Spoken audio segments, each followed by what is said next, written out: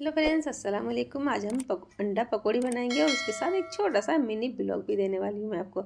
जैसे कि कल मैंने आपको शॉर्ट वीडियो में कहा था मैं देने वाली हूँ आपको छोटा सा एक मिनी ब्लॉग। यानी कि मैं अपनी हर छोटी बड़ी खुशी आपके साथ शेयर करती हूँ। तो यहाँ पर मैं आई हूँ अपने भांजे की यहाँ पर यानी कि बड़ी सिस्टर के यहाँ पर। उनके बेटे का नाम था आतिफ मैंने आपको कई बार मिला मिलाया भी है तो और इनकी बेटी है ये छोटी सी नन्नी सी परी इसका है हकीका। तो यहाँ पर आप पहुँचे हैं हम दावत में। तो यहाँ पर दावत है रात की और हमें पता नहीं था कि यहाँ पर आज ही के दिन शब बारात भी है और आज ही के दिन हमारे बेट, जो भांजा है उसके लड़के का, की भी दिन रख दिया था तो बहुत ज़्यादा इस मिस्टेक हो गई थी। तो यहाँ छोटे बच्चे ये मेरी बहन का लड़का है जिनका इंतकाल हो गया, यानी कि ये छोटी बहन की बेटियाँ हैं। और देखिए, ये दोनों नन्ही परियाँ खेल रही हैं इंजॉय कर रही हैं, खा रही हैं और ये रुखसार की बेटी है और जो आप देख रहे हो ब्लू कपड़े में इसकी शादी होने वाली एक छोटा सा ब्लॉक में एक को फिट देने वाली हूँ, यानी कि ईद के बाद इसकी शादी है। नाफिया भी इंजॉय कर रही है और देखिए यहाँ पे काफ़ी सारे बुज़ुर्ग बैठे हुए आपस में अपने घर की बातें कर रहे हैं और लोग आ रहे हैं, जा रहे हैं, बाहर खाना चल रहा है। अब आपको मिला दूँ रुखसार से। रुखसार को तो आप जानते ही हो, ये भी मेरी बहन है। और आज नाफिया का मैंने हेयर स्टाइल खुद करा था तो बताएँ कैसा लग रहा है नाफिया का हेयर स्टाइल तो नाफिया का हेयर स्टाइल मैंने खुद करा था और फ़िज़ा का भी मैंने करा था। फ़िज़ा और पीछे से मेरी बहन दिखा रही है, दो फिंगर तो ये भी मेरी बहन है, चांदनी, इनका नाम है और ये टिक्की खा रही है, मुझे भी ला ला के बहुत खिला रही है। कह रही भाजी खा लो और इनकी बेटी हैं ये और देखिए, ये हैं मेरे भांजे की दुल्हन जो कि बेटी भी है अपनी छोटी सी नन्ही सी परी को लेके और ये रुखसार की बेटी है, यानी कि मेरी बहन जी और देखिए, जैसे मैं कह रही थी, मैं छोटा सा ब्लॉग लेकर आने वाली हूँ इसकी बात तो इनकी है, शादी ये है मेरी छोटी बहन, जो अब शादी के लिए रह गई हैं। तो हमारी अम्मी बाबू नहीं है तो इनकी शादी हम बहनें ही मिल करेंगे। तो यह है मेरी बाजी का लड़का, यानी आतिफ से छोटा। इनका नाम है आरिश। तो अभी पढ़ाई कर रहे हैं और फ़िज़ा का आउटफिट देख सकते हैं। आप फाइनली नाफिया का भी आउटफिट आप देख सकते हैं।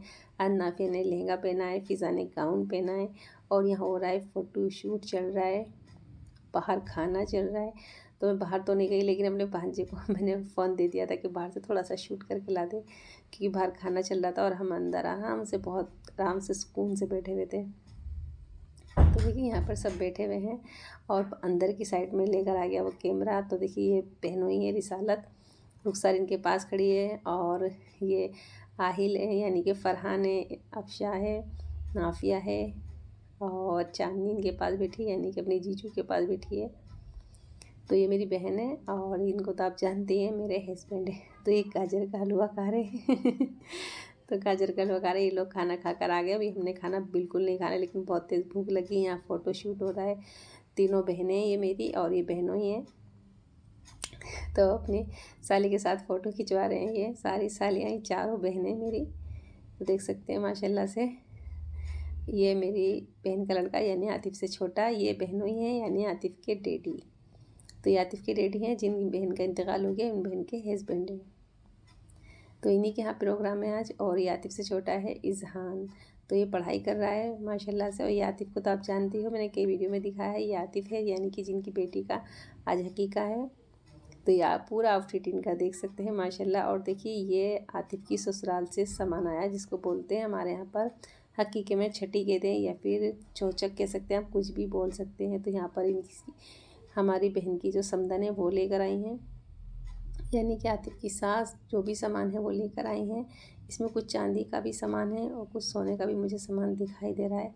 अभी मुझे पक्का नहीं पता क्या क्या है, लेकिन कुछ दिख रहा है। अब हम नीचे आ चुके हैं, हमें लग रही है बहुत तेज़ भूख।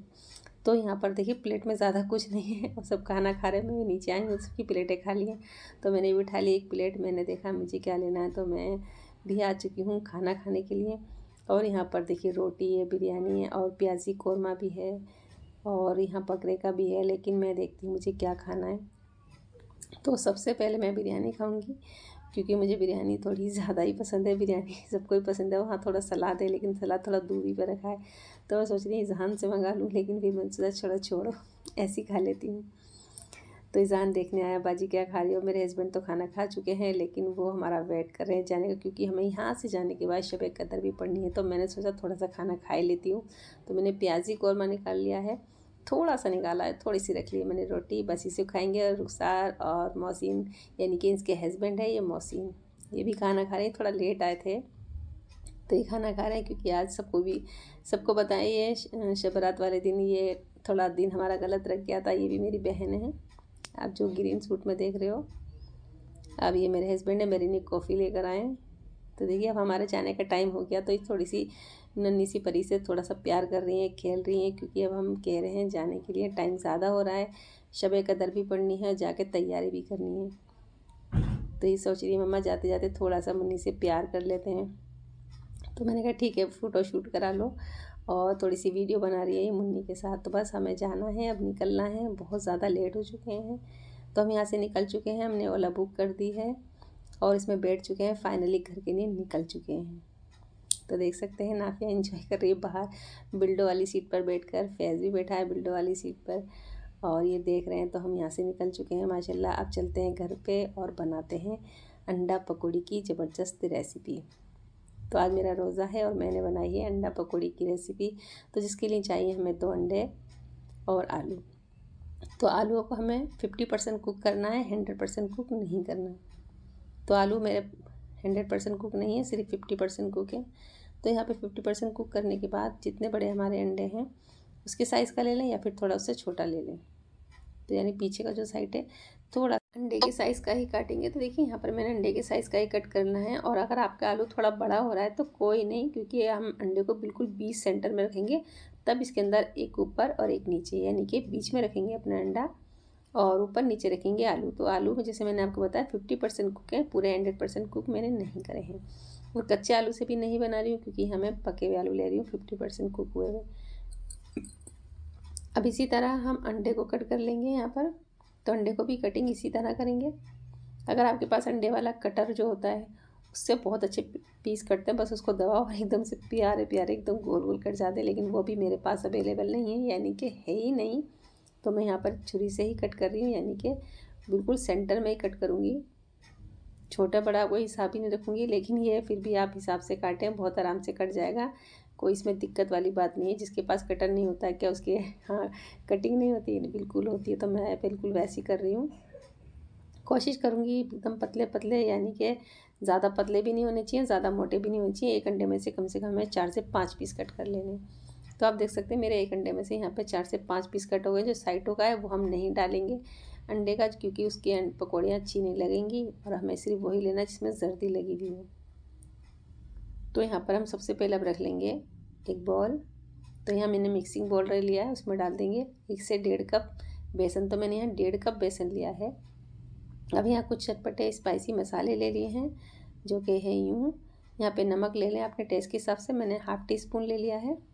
मिर्च ले लिया वन टी स्पून हल्दी पाउडर कलर के लिए रखा है मैंने वन फोर टी स्पून कुटी हुई मिर्ची भी डाल रही हूँ। भुना कुटा ज़ीरा है half teaspoon chaat masala half teaspoon और हल्दी जैसे मैंने आपको बताया कलर के लिए डाल सकते हैं। नमक और आप मिर्च आप अपने हिसाब से रख सकते हैं। कम ज़्यादा यहाँ पर हम हरी मिर्ची चोपर वाली उसका भी यूज़ करेंगे। यहाँ मैं हरी मिर्च भी लूँगी। तो देखिए यहाँ पर मैंने वन फोर टी ले लिए मिर्चें, कुटी हुई मिर्चें हैं।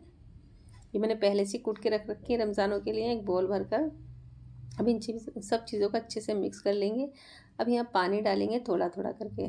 तो यहाँ मैंने डेढ़ कप बेसन लिया है और एक कप ले रही हूँ पानी।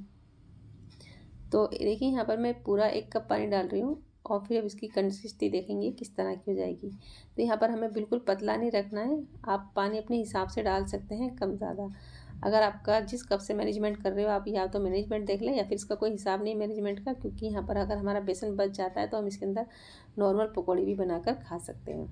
तो इसकी देखते हैं कितनी थिकनेस है तो हमें इतना ही चाहिए, ज़्यादा पतला बिल्कुल नहीं चाहिए लिक्विड की तरह, कि वरना हमारी पकौड़ी बिल्कुल भी अच्छी नहीं बनेगी। तो हमें गाढ़ा गाढ़ा बेसन घोल लेना है और अब इसे क्या करेंगे, अब इसे रखते हैं साइड में, अब लेते हैं एक आलू।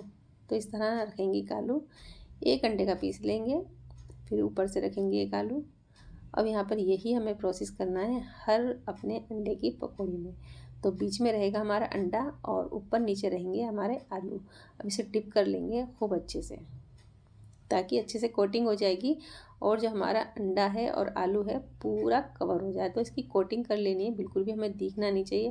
तो ये थोड़ी मोटी बनती है पकौड़ी और थोड़ी अच्छी भी लगती है और थोड़ी नहीं, बहुत अच्छी लगती है। जितने ही टेस्टी है ना, उससे कहीं ज़्यादा ये हेल्दी भी है। तो अच्छे से कर लेंगे ऑयल को गर्म। तो ऑयल को हमें अच्छे से गर्म कर लेना है और गैस का फ्लेम लो टू मीडियम रखेंगे। लो टू मीडियम फ्लेम पर जल्दी जल्दी फटाफट डाल देते हैं पकौड़ियाँ। मैं रोज़े के लिए बना रही हूँ, आज मेरा रोज़ा है और मेरे हस्बैंड का भी रोज़ा है तो मैंने सोचा क्यों ना मैं ये वीडियो बना ही रही हूँ तो आपके साथ शेयर भी कर लेती हूँ। और मुझे एक छोटा सा ब्लॉग भी तो देना था तो ब्लॉग कैसा लगा तो प्लीज़ कमेंट करके ज़रूर बताएँ। मैं अपनी फैमिली से मिलवाती रहती हूँ। बहुत जल्द मेरी बहन की शादी है, यानी कि ईद के बाद अफशा की शादी है और मैंने आपको दिखाया भी था बिलू सूट में अफशा को तो उसकी शादी है और उसका भी मैं ब्लॉग आपको देने वाली हूँ, हल्दी मेहंदी।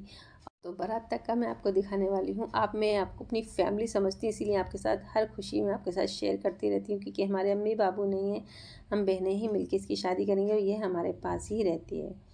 तो देखिए, यहाँ पर हमारे अंडे की पकौड़ी बनकर तैयार हो चुकी हैं और यहाँ ले रही हूँ मैं पुदीना और हरी दिने की चटनी के साथ।